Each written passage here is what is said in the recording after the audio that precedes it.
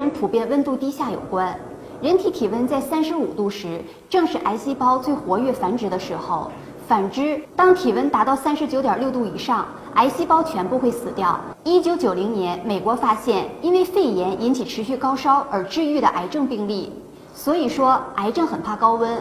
癌症是从头到脚都有可能发生的疾病，但是心脏、脾脏、小肠这三个部位很少患癌，因为这三个部位都属于高温器官。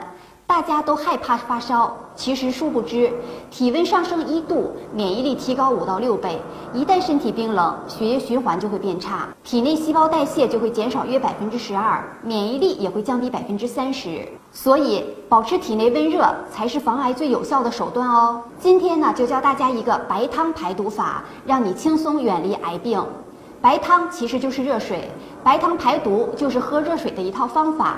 虽然喝热水是非常简单，但是也不是随便喝就能达到效果的。记住以下四点秘诀：一早起起床喝一杯热水，早上起床喝一马克杯的热水，水温再不要烫口，能够顺顺喝下的温度最好，能够温热体内脏器，溶解体内老废物质，加速排出，让一天有个精神气爽的开始。二一天喝一点二到一点五公升的热水，大概是五杯水。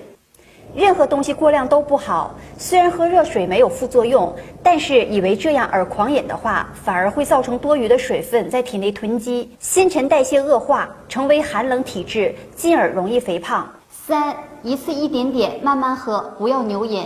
不要在渴的时候咕嘟咕嘟狂饮，最好每次半杯，小口小口慢慢喝，一到两个小时喝一杯左右的量。不要烫口的热水，温热就可以了。四，入浴后水分补给，洗完澡后喝一杯温水，补充流失的水分。这时候好不容易集邮泡澡，让身体温热起来，最好避免喝冰的东西，让身体冷却。这种疗法源自于印度的阿育吠陀。即由喝温热的水让身体热起来，达到和用芝麻油按摩让身体热起来同样的效果。由于实行起来非常简单，每个人都做得到，也不用花钱。大家记住了吗？希望您学会转发，让更多的人获得健康。看完此视频后，您可以有两种选择：一、无视，就当没看到；二、将此视频放在您的朋友圈，让更多人有所感悟，传递这份正能量，给自己和家人积福积德。